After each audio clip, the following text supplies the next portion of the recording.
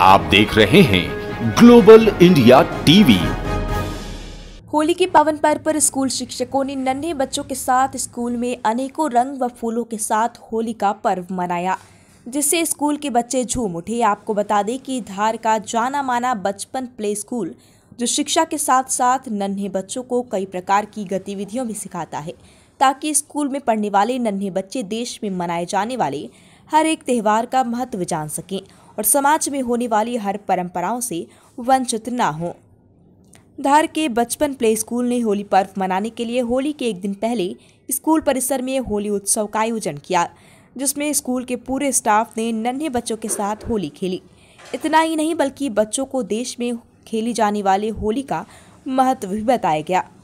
बचपन play school के सभी शिक्षकों तथा तो नन्हे बच्चों ने एक दूसरे पर फूल और रंग बरसाए।